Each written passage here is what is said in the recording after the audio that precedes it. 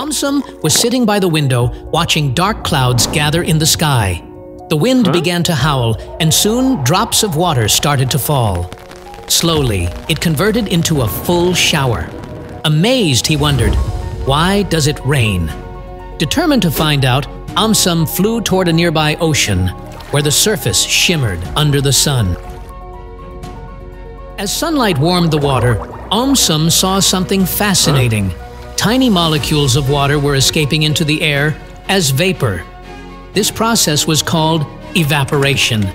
He followed the rising vapor as it climbed higher into the cooler layers of the atmosphere. As the air got colder, the vapor began to turn back into liquid droplets, a process called condensation.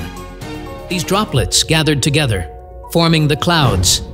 Inside, he found a chilly world filled with tiny floating water droplets and invisible water vapor.